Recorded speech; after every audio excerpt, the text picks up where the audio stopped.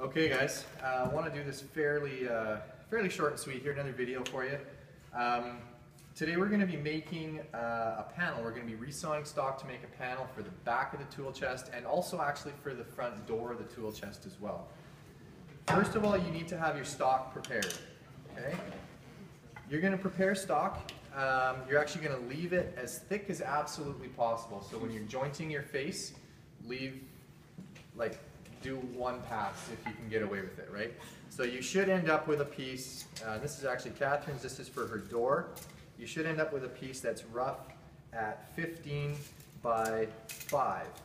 Because when we resaw this in half, split it and book match it, that's going to give us a rough panel size 15 by 10 when we glue that right up. Right? When you guys are selecting material for this, uh, your panels are kind of like the special, like sort of like the eyepiece of the, of the project, right? Especially your front door panel. So think about looking for a piece of wood that has maybe some gnarly grain and stuff in it. I did this one earlier. Uh, I think this kind of looks like the Grinch. I don't know. I kept it because I thought it was pretty cool. With the eyes, you get it? Uh, I'm going to use it for something. So this is a book matched piece that I resawed and I glued up. Um, so it had some knots and some kind of funky grain things. This is kind of a really neat effect. So maybe think that, take that into consideration when you're choosing the piece of stock for your panels. Uh, this is your time to kind of be uh, creative and choosing a really neat looking piece. So, um, as far as setup goes on this bandsaw, uh, this is going to be, this is our resaw bandsaw. Um, first of all, obviously, all the safety rules apply. Our guard height, right? We're going to maintain that kind of pencil width, roughly. Uh, guard height. Um, this is a new fence that we have for this machine. All right, it's a magnetic fence, and it just uses these little twist locks on the side here. You can move this thing anywhere you want. The sawdust in there, and then just turn them to lock it down, and it actually is like a very tight uh, fence. It works really well. Because we're going to be resawing this exactly in half, um, there's a little trick I want to show you guys to check to make sure you got this in half. We don't actually have to mark it all the way out on here with a marking gauge, although you certainly can. It's not, it's not wrong.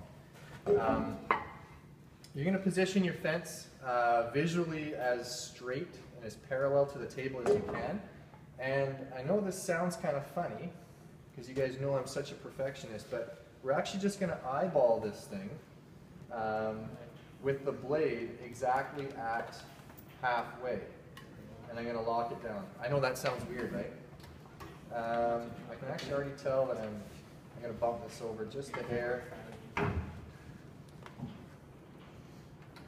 I'm going to lock it down, eyeball that halfway. Now what we're going to do is I'm going to come in with the machine running and I'm going to just kiss the wood into the blade. I'm going to flip it around and my cut should line up. It should be exactly the same, right, when I, when I flip it. That's how we're to tell if I've got this thing set exactly uh, in the middle. Okay, so here we go. Take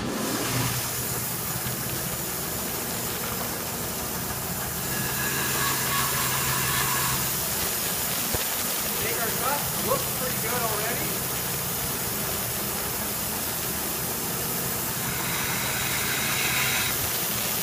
But very close. I'm going to continue and cut